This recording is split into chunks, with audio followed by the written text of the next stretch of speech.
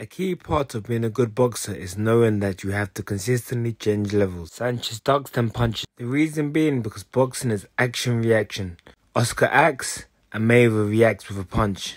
Changing levels, dipping, or taking a step is an action that makes your opponent react. You're priming them to behave in a certain way, just so you can have your desired response. Counterboxers like Mike Tyson, Floyd Mayweather, and James Toney use this technique a lot, but offensive fighters like Joe Frazier also use it. He dips low to prime Ali with the hook. Hearns attacks low with the jab, but strikes hard to the head. To develop this, you have to know that boxing is always action reaction.